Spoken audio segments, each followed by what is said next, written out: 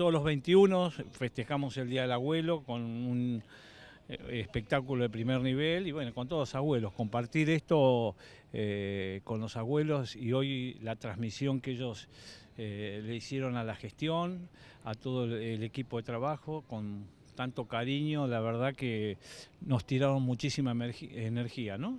Y bueno, en una situación socioeconómica difícil, donde hay que estar atento, donde el municipio puede hacer mucho por, por una sociedad golpeada, bueno, nosotros siempre le decimos a los, a los abuelos que estamos presentes, es decir, que por suerte tenemos un gran equipo de trabajo, mucha gente con sensibilidad, con vocación de servicio, militantes, y bueno, que estamos al servicio de la comunidad y por supuesto, siempre yo digo que San Fernando el servicio es para todos, pero la prioridad son los más vulnerables.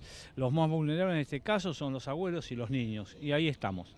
La verdad que la pasé bien, disfruté del lugar, disfruto de, la gente que maneja este lugar hermoso. Le estaba diciendo fuera de cámara que estoy, estuve viendo unas casas tan bellas, digo, ay, qué ganas de venir a vivir acá, una ganas de, de venir acá a trabajar y además como me atendieron, laburé bien, tranquila, recién decía, ojalá nos salga varias veces un, show así. Y entonces yo digo, hoy es un día festivo. Un placer venir y trabajar eh, para gente tan cariñosa, tan amable, la verdad que que yo la paso muy bien, la disfruto y creo que ellos también. La cultura recorre el país y sea gratis para el público, a mí me parece buenísimo.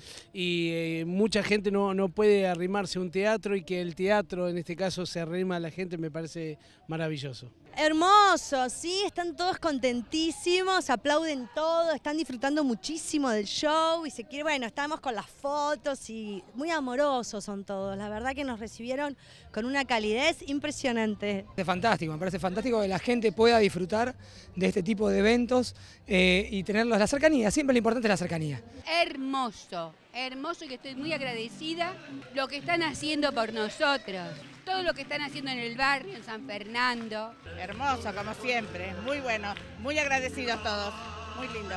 No estamos olvidados, así que bien. Está muy bueno, muy bueno, hay unión.